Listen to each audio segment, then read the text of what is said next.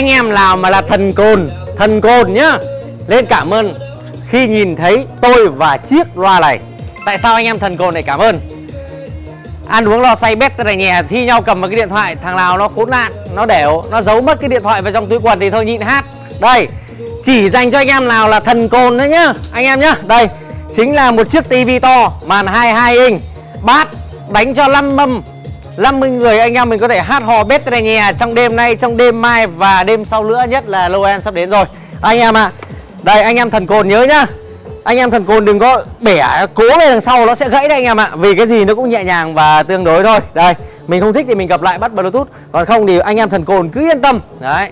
Đấy anh em thần cồn nhớ đến đoạn này thì cảm ơn tớ nhá. Riêng con này quẩy thì banh nóc luôn. Đây mic của nó đây. Cực kỳ nhẹ nhàng luôn.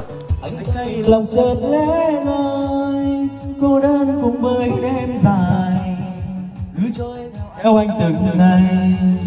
Em ơi, giờ đây anh cần. Anh em thần cồn nhìn hộ tớ này. Có echo này, có delay để hỗ trợ anh em thần cồn như mình hát cho đỡ mệt này. Đấy, nhậu vào đỡ mệt này và có cả cổng guitar nếu anh em thần cồn có thích máu văn nghệ, được chưa? Còn bây giờ anh em nghe thử nhá. Anh em nghe thử khi mà nhạc remix nó lên nghe cực kỳ hay luôn.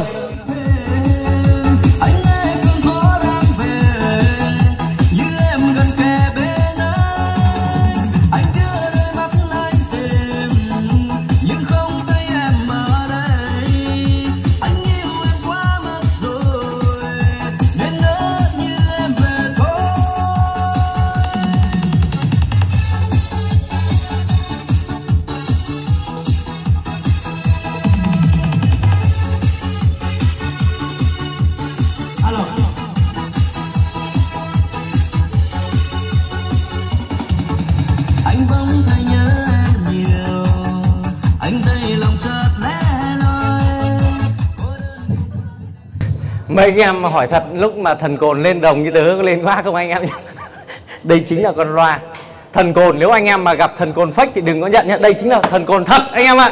Chào anh em.